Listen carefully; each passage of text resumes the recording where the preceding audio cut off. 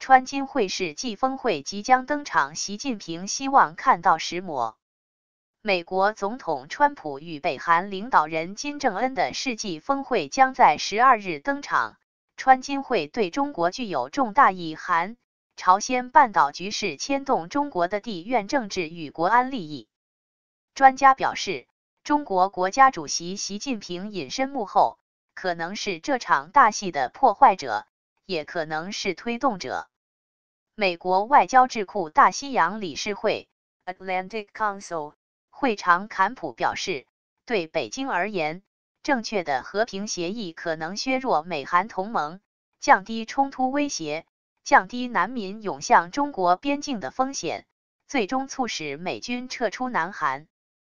美军撤离南韩，不仅有助于北京实现美国在亚洲影响力最小化的目标。也是金正恩政府放弃核武的前提。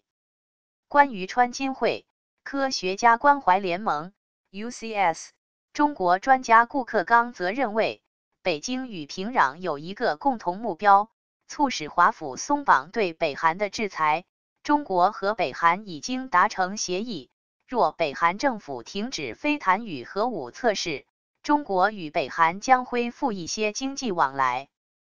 上海复旦大学教授任晓表示，中国对川金会的理想结果是软着陆，譬如一个无核化北韩逐步推动改革，对外开放社会，经济活力也因此有了可能性。至于北京不愿看到的情况，是两韩统一的可能性。一旦南北韩统一，这个新国家可能会落入美国的势力范围。坎普说。若川普做得太好，北京可能会面对一个更强大且统一的韩国，此时韩国成为民主堡垒，美国的友邦。美媒 CNBC 报道，任晓也认为，对北京而言，若美国、南韩与北韩组成某种组织或联盟，将是最糟糕的和平协议，但不太可能发生这种事情。